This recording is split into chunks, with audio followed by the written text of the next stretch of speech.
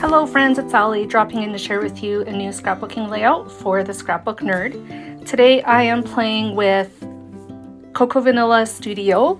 Uh, the collection is Great Escape. I thought this collection would be absolutely perfect for the memory that I wanted to document, which is a trip, family trip that we took back in February um, to visit the in-laws, my in-laws.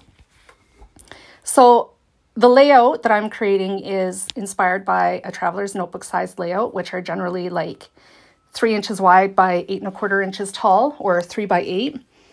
Mine's a little bit bigger than that because I find that size really hard to work with. So I created my template in Cricut Design Space with a gutter on the left-hand side.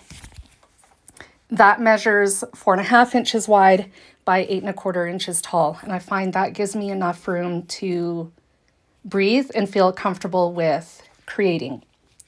There's a lot of white space in this layout and I decided to utilize that by putting all of my embellishing, journaling, and the title up in that space. So it's in the top right hand corner of my photo, which by the way, my photo is printed oversized as well, which means I printed it at four and a quarter inches by eight inches. So there's a nice white border around my photo. Um, my template is obviously cut from white cardstock, uh, just FYI. that includes the border too, or the gutter. So at the very top of the layout, I took the striped pattern paper and cut just a tiny little strip of it off to four and a quarter inches wide, like long, by 0.25 inches tall. And then on that, I added this little, I'm calling it a tag. I don't think originally it was meant to be a tag, um, but that's what I'm calling it. So the top part of the tag was cut um, from white cardstock, and also the journaling was written on that as well in Cricut Design Space. And then underneath it, I created just another little rectangle that had the rounded corners um, same as the top of the white one, um, for just a little bit more interest. And then on top of that, between the plaid pattern paper at the bottom and then the white portion of this mat, I added some of the word phrases from the cut apart sheet in the 6 by 8 paper stack.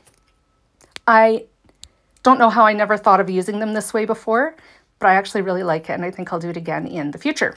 That way I actually get them used up. I had uh, this gold snowflake kicking around forever on my desk and didn't know where I was going to use it and then realized as I was designing this layout that it was a near identical match to the colors in Great Escape.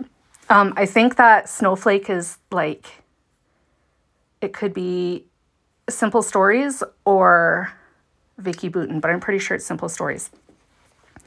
So I glued it with liquid glue to the bottom left hand of my little tag and put my title on top of it, which is from the Puffy Titles sticker sheet, also from this collection, and was not happy with how the N in nature totally, like pretty well covered the snowflake.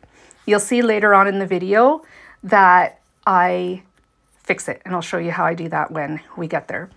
So I'm just adding a few more of the puffy stickers that come with the sheet. Um, just the puffy sticker sheet is what I'm going to say. It's little tiny, tiny. I used some of the stars off of that to embellish my layout. And here I felt like I was pretty well done this layout.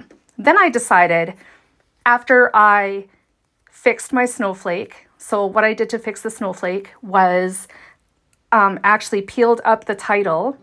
Amazingly, um, it worked quite well using my little spatula that comes with my Cricut.